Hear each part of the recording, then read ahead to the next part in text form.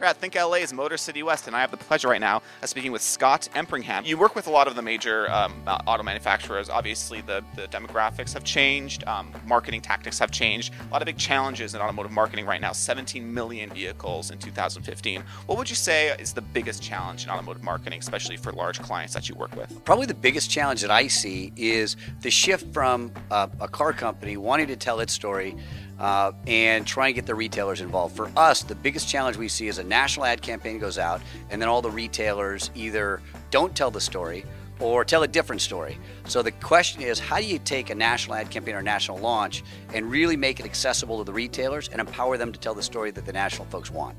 So consumers want to hear kind of a narrative about the car manufacturer, and there's kind of a disconnect between the retailers and the marketing message that the overall company is trying to convey. There's a huge disconnect, and I think it's one of the challenges that have plagued the automotive industry for a long time. They'll have a brilliant idea, but then the dealers or the retailers will tell something different.